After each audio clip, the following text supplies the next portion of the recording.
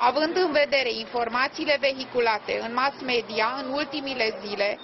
cu privire la acuzațiile de viol care s-ar fi întâmplat în incinta școlii Nicolae Titulescu, atât din nevoia corectei informări a opiniei publice, cât și din necesitatea evidentă de a asigura un climat optim în interiorul unității de învățământ, vă comunicăm următoarele când ne-a fost sesizată posibila comitere a unui abuz asupra unui elev de către un alt elev al școlii în anul 2022,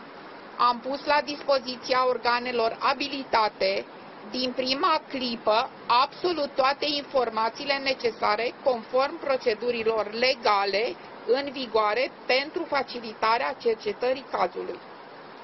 din perspectiva instituției noastre și a prerogativelor legale ce ne revin, am desfășurat anchete interne din dorința sinceră de a clarifica toate aspectele. Menționăm că din considerente legale și procedurale, cât și pentru a proteja intimitatea elevilor potențial implicați,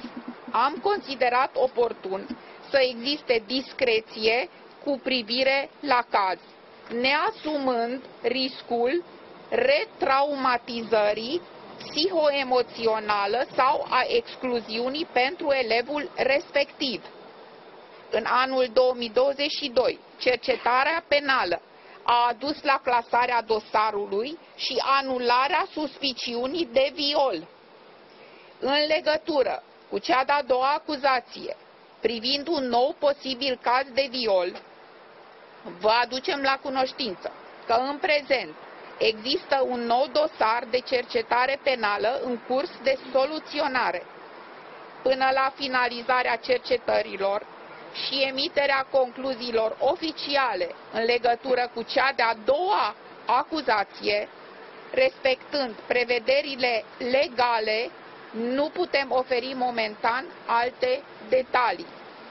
Precizăm că la nivelul școlii au fost luate toate măsurile necesare în conformitate cu procedurile legale ce se impun în aceste situații, asumându-ne responsabilitatea ce ne revine pentru protejarea tuturor elevilor și clarificarea acuzațiilor formulate. Vă mulțumesc!